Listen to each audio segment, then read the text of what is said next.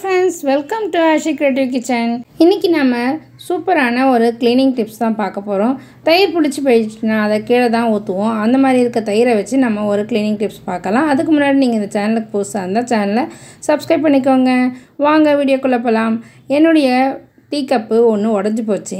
அந்த கப்பை தூக்கி போடுறதுக்கும் மனசு இல்லை. ரொம்ப அழகாக இருந்துச்சு. அந்த டிசைன் எனக்கு ரொம்ப பிடிச்சிருந்தது.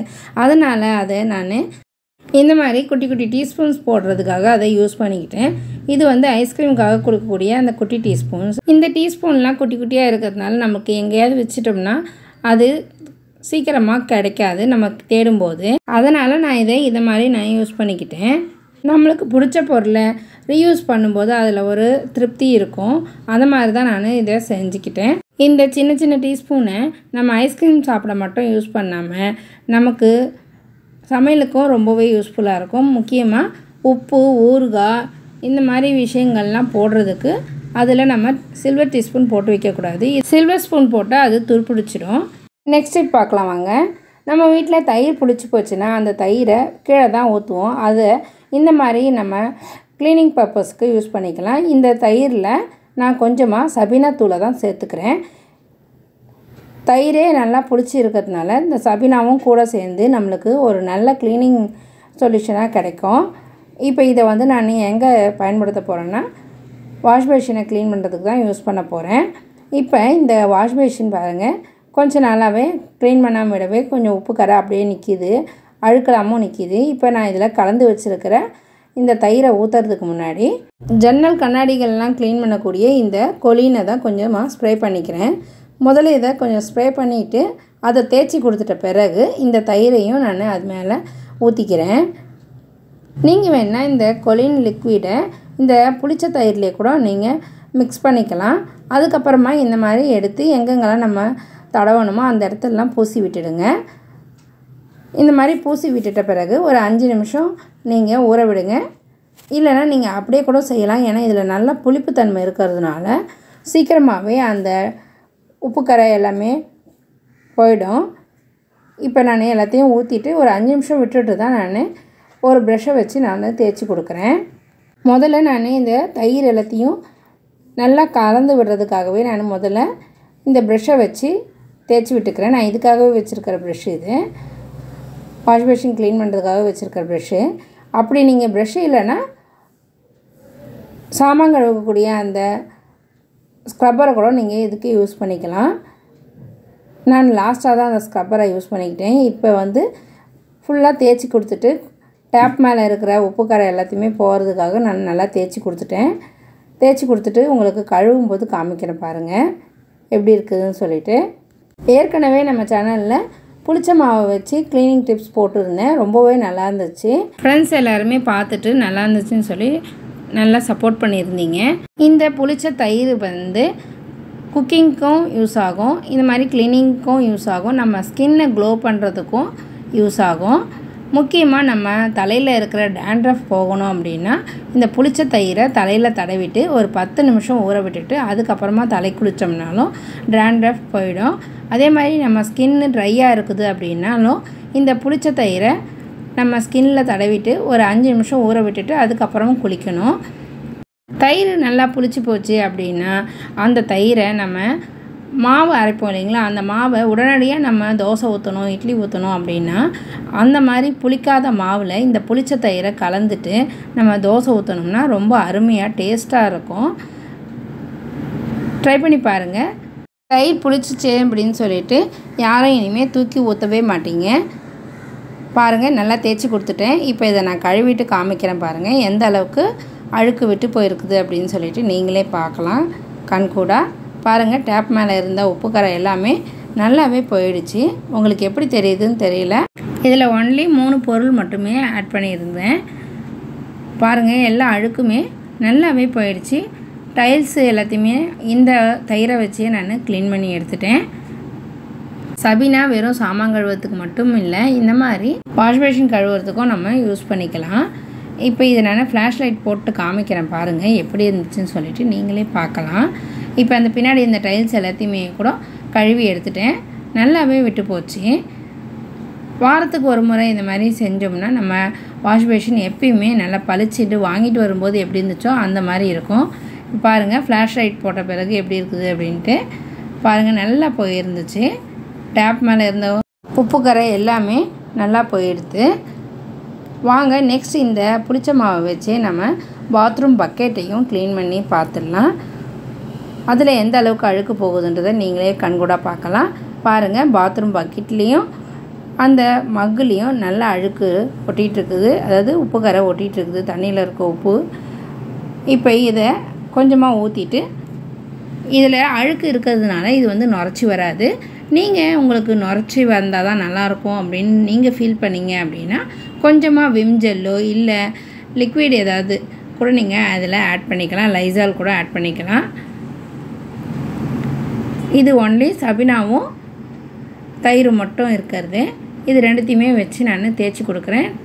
இது நுரைக்கவே நுரைக்காது. ஏன்னா உள்ளார வந்து அழுக்கு இருக்கிறதுனால நுரைக்காது. அதுக்கப்புறமா நம்ம வேணால் கொஞ்சமாக லிக்விட் போட்டு நம்ம தே தேய்ச்சி எடுத்துக்கலாம். இப்போ தேய்ச்சி எடுத்துகிட்டு நாங்கள் உங்களுக்கு காமிக்கிறேன் பாருங்கள் இந்த மாதிரி ஒரு ஸ்க்ரப்பரை வச்சுக்கோங்க. இதுக்குன்னு தனியாக வச்சுக்கிட்டிங்கன்னா நல்லாவே இருக்கும். இந்த மாதிரி பாத்ரூம் பக்கெட்டு மக்கெல்லாம் க்ளீன் பண்ணுறதுக்கு நம்மளுக்கு ஈஸியாக இருக்கும். கை வலிக்காமல் சீக்கிரமாகவே செஞ்சு முடிச்சிடலாம். இதில் போட்டிருக்க இந்த ரெண்டு பொருளே போதும். நம்மளுக்கு இந்த பக்கெட்டை க்ளீன் பண்ணுறதுக்கு நல்லாவே அழுக்கு விட்டு போயிடும். உப்பு கரையும் நல்லாவே சீக்கிரமாகவே விட்டு போயிடும். உங்களுக்கு எந்த ஒரு கஷ்டமே இல்லாமல் சீக்கிரமாக தேய்ச்சி முடிச்சிடலாம். ஸ்க்ரப்பர் வச்சு தேய்ச்சிங்கன்னா ரொம்ப நல்லாவே விட்டு போயிடும். அப்படி இல்லைன்னா நீங்கள் இரும்பு ஸ்க்ரப்பர் வேணால் கூட நீங்கள் இதுக்காக நீங்கள் யூஸ் பண்ணிக்கலாம். பக்கெட் அழுக்காக போயிடுச்சு அப்படின்றதுக்காக நம்ம தூக்கி போடாமல் இந்த மாதிரி நம்ம கழுவி யூஸ் பண்ணுறது நல்ல ஒரு மணி சேவிங் டிப்ஸாகவும் இருக்கும். இந்த மாதிரி க்ளீனிங் ஒர்க் பண்ணுறதுக்காக நம்ம ரொம்ப காசு செலவு பண்ணாமல் நம்ம வீட்டில் இருக்கக்கூடிய இந்த புளிச்ச மாவை வச்சு புளிச்ச தயிரை வச்சு நம்ம இந்த க்ளீனிங் ஒர்க்கை நம்ம பண்ணி முடிச்சிடலாம். பாருங்கள் இந்த மக்கை க்ளீன் பண்ணிவிட்டு கழுவிட்டு காமிக்கிறேன். எப்படி இருக்குதுன்னு சொல்லிட்டு. ரொம்ப நல்லாவே இருந்துச்சு. எனக்கு ரொம்ப பிடிச்சிருந்தது. நீங்களும் இதை ட்ரை பண்ணி பார்த்துட்டு எப்படி இருக்குதுன்னு சொல்லி கமெண்ட்டில் சொல்லுங்கள் ஃப்ரெண்ட்ஸ் பக்கெட்டும் நல்லா க்ளீனாக அழகாக ஆயிடுச்சு எந்த ஒரு அழுக்குமே இல்லை உப்பு கரையும் இல்லை. நீண்ட காலம் உப்பு கறியை போக்குறதுக்கு இந்த ஒரு பொருளே போதும். அது கூட இந்த சபினா ஒன்றத்தை மிக்ஸ் பண்ணிங்கனாலே உங்களுக்கு நல்ல ஒரு ரிசல்ட்டை கொடுக்கும். ரொம்ப நல்லாவே இருந்துச்சு. ட்ரை பண்ணி பாருங்கள் ட்ரை பண்ணி பார்த்துட்டு எப்படி இருந்துச்சு சொல்லி கமெண்ட்டில் சொல்லுங்கள் ஃப்ரெண்ட்ஸ் இந்த புளிச்ச தயிரை வச்சு வாஷ் பேஷனும் பாத்ரூம் பக்கெட்டுமே நல்லா க்ளீன் ஆகிடுச்சி நீங்களும் ட்ரை பண்ணி பாருங்கள் வாங்க நெக்ஸ்ட் இப்போ என்னன்றதை பார்க்கலாம். இந்த புளிச்ச தயிரை வச்சு நம்ம பூஜை சாமானையும் எப்படி க்ளீன் பண்ணலான்றதை பார்க்கலாம். அதுக்கு முதல்ல நம்ம வந்து பூஜை சாமானை நான் முதல்ல வந்து விளக்கு தான் எடுத்திருக்கேன். அந்த விளக்கில் இருக்க எண்ணெய் திரி எல்லாத்தையுமே வந்து இது மாதிரி ஒரு டிஷ்யூ வச்சு நல்லா தொடச்சி எடுத்துக்கோங்க. அதுக்கப்புறமா தயிரை நல்லா புளிச்சு போய் இருந்துச்சுன்னா அதை கீழே ஊற்றாமல் நான் இந்த வீடியோவில் சொன்ன மாதிரி நீங்கள் செஞ்சு எடுத்துக்கோங்க. இப்போ இது இது எல்லாத்தையும் நம்ம க்ளீன் பண்ணி எடுத்துகிட்ட பிறகு நம்ம வச்சுருக்கக்கூடிய புளிச்ச தயிரை நீங்கள் இது மேலே கொஞ்சமாக ஊற்றி விடுங்க. நீங்கள் ஊற்றி விடும்போதே நீங்கள் நல்லா கண்கூடாக பார்க்கலாம். எப்படி இருக்குதுன்னு நீங்களே பாருங்கள் இந்த தேய்ச்சிட்டு காமிக்கிறேன் பாருங்கள் எந்த அளவுக்கு அது விட்டு போகுதுன்றதை நீங்களே பார்க்கலாம். பாருங்கள் நம்ம பீதாம்பரியோ இல்லை சபினாவை வச்சு தேய்க்கும் போது எந்த அளவுக்கு விடுமோ அந்த அளவுக்கு இருக்குது. நம்ம இதுக்காக வந்து சொல்யூஷன் எதுவுமே போட வேண்டாம். நம்மளுக்கு பீதாம்பரி போட்டால் கூட கையில் வந்து ஏதாவது அலர்ஜி மாதிரி உண்டாகும். அந்த மாதிரி இருக்கிறவங்க இந்த மாதிரி நம்ம வீட்டில் இருக்கக்கூடிய புளிச்ச தயிரை வச்சே நம்ம பூஜை சாமானை கழுவி எடுத்துடலாம். நான் இதுக்காக ஒரே ஒரு விளக்கு தான் ஃபஸ்ட்டு எடுத்துருக்கிறேன். பாருங்கள் எவ்வளோ அளவுக்கு பளிச்சின்னு இருக்குதுன்னு. இது மாதிரி நம்ம தேய்க்கிறதுனால இது பதினஞ்சு நாளைக்கிட்ட வரைக்கும் நல்லாவே இருக்குது. நம்ம சேனலில் புளிச்ச மாவு புளிச்ச தயிரை வச்சு நிறைய கிச்சன் டிப்ஸும் இது மாதிரி க்ளீனிங் டிப்ஸும் போட்டிருக்கேன். வீடியோ ரொம்ப லென்த்தாக போகக்கூடாதுன்றதுக்காக ஃபாஸ்ட் மோடில் வச்சு போட்டிருக்கேன். இந்த வெய்ய நாளில் தயிரை வெளியில் கொஞ்ச நேரம் வெளியில் வச்சாலுமே அந்த தயிர் ரொம்ப புளிச்சு போயிடும். அந்த மாதிரி புளிச்சு போன தயிரை நம்ம வெளியில் ஊற்றிடாமல் இந்த மாதிரி பூஜை பாத்திரம் கழுவுறதுக்கு கூட நம்ம யூஸ் பண்ணிக்கலான்றதுக்காக தான் இந்த வீடியோவை திரும்பவும் நான் உங்களுக்கு போஸ்ட் பண்ணியிருக்கேன். இந்த ஆடி மாதத்தில் ஈஸியாக நம்ம பூஜைக்கான வேலைகளை செஞ்சுட்டு நம்ம சாமியை முழு திருப்தியோட நம்ம கும்பிடலாம். முக்கியமாக இந்த விளக்கை கழுவும் போது நம்ம ஃபில்ட்ரு வாட்டர் வச்சு தான் நம்ம கழுவணும். ஆரோ வாட்டர்னு சொல்லுவாங்க இல்லைங்களா? அதை வச்சு தான் நம்ம கழுவணும். அப்போ தான் வந்து விளக்கு சாமான் வந்து பளிச்சுன்னு இருக்கும். அதுக்கப்புறமா ஒரு தூய்மையான துணியை வச்சு அதை தொடச்சி எடுத்துருங்க. அதே மாதிரி நம்ம விளக்கு சாமான் விளக்கும்போது நம்ம தனியாக வச்சு விளக்குறதுக்கு இடம் இருந்தால் பரவாயில்ல. அப்படி இல்லைன்னா இந்த மாதிரி நம்ம தனியாக வச்சு வளர்க்கும்போது கீழே ஒரு பேப்பர் வச்சுக்கிட்டிங்கன்னா அதை க்ளீன் பண்ணுறதுக்கும் நம்மளுக்கு அந்த இடத்த க்ளீன் பண்ணுறதுக்கும் ஈஸியாக இருக்கும். இதுவும் ஒரு நல்ல டிப்ஸாக இருக்கும் உங்களுக்கு. இப்போ மறுபடியும் அந்த பூஜை தட்டுக்களை க்ளீன் பண்ணி காமிக்கிறேன். எந்த அளவுக்கு அழுக்காக இருக்கிற தட்டு எப்படி இருக்குதுன்றதை நீங்களே பாருங்கள் ரொம்ப நல்லா இருந்துச்சு.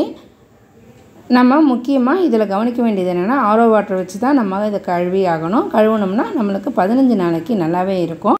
இப்போ அடிக்கடி மழை பெய்ய ஆரம்பிக்குது.